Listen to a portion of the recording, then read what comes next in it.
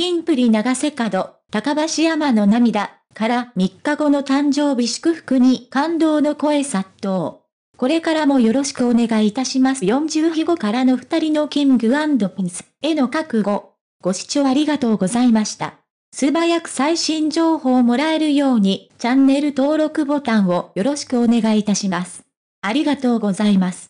キー N、G、アンドプスの長瀬廉24が4月12日放送のラジオ番組、 King & Prince 永瀬廉の Radio GARDEN、通称、庭ラジ文化放送でメンバーの高橋海人24の誕生日を祝福する場面があった。番組冒頭、長瀬は先週の放送で俺、アマの誕生日に触れてなかったよね。そうやね。怒られちゃうよ。怒られちゃう。と、先週の番組で4月3日に24歳の誕生日を迎えた高橋に触れなかったことを反省。続けて、あいつ、24、年になりまして、タンプレをどうしようかなって、渡せてるかな ?4 月12日には、そろそろタンプレもどうしようかなって悩む。他のメンバー4人で決めて渡そうかなっていう、と、金プリ恒例となっているメンバーそれぞれが誕生日プレゼントを渡す計画があると明かした。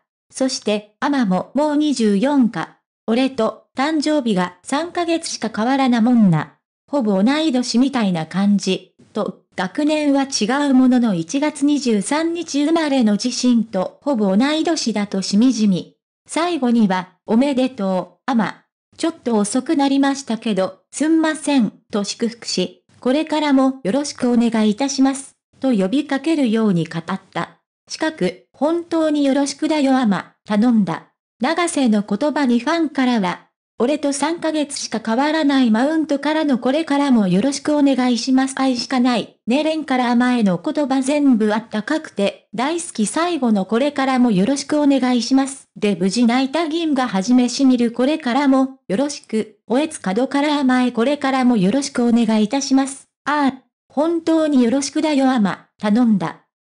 と、感動の声が多数寄せられた。5月22日、金プリから平野仕様26、岸優太27、神宮寺優太25が脱退する。平野と神宮寺は同日に主演映画 G メンの PR を残す騎士は今週ジャニーズ事務所からも退場する。5月23日からは長瀬さんと高橋さん二人で金プリを続けていくことになります。長瀬さんのこれからもよろしくお願いいたしますという言葉には、一緒にグループ活動を続けていく高橋さんと誓った覚悟も垣間見えてきます。昨年11月に3人が脱退を発表した直後の庭ラジで長瀬さんが号泣する場面がありましたが、つい先日は高橋さんもテレビ番組で涙を見せていました。二人の中には今でも様々な思いが巡っているはずです。女性編集者、四角高橋山が涙ながらに語った、ずっと友達で入れたら、高橋は4月9日放送のおしゃれクリップ日本テレビ系にゲスト出演。マックの山崎育三郎37が最後の質問としてグループとしてもキー N、G、アンドプスとしての今後の目標はありますか？と投げかけた、蔡高橋はそうですね。でも、何か、ちょっと待ってくださいね、と、言葉に詰まり、天を仰いで目に涙を浮かべ、何も話せなくなってしまう場面があった。約30秒ほどかけて気持ちを整理したのか、高橋は一人でも多くの応援してくれるファンのためにもっと大きいステージだったりとか回数多く会えればいいなって思います。とし、メンバーについて次のように話した。メンバーは何よりも僕は好きなので、みんなが幸せに暮らせたらいいなと思います。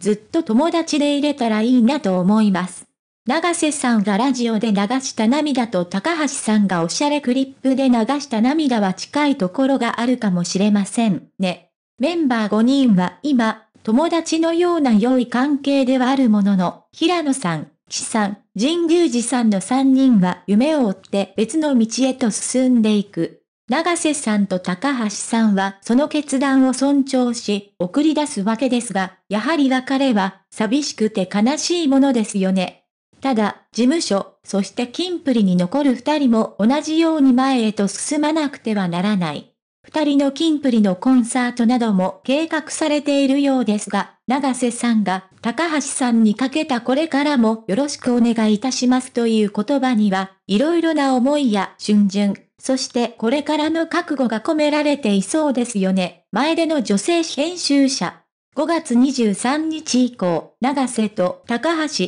二人の金プリはどのような活動をしていくことになるのだろうか。近く、海ちゃんの顔が物語っている高橋山、長瀬角画伯の芸術的才能に頭を抱える激川な瞬間。4月3日に誕生日を迎えた高橋はグループのインスタグラムで24歳はいろんな世界を知りたいということで僕は海外旅行に行って世界遺産を巡ってみたいなっていう願望があります。スケジュール空いたら行きます。と24歳でやりたいことを明かしていた。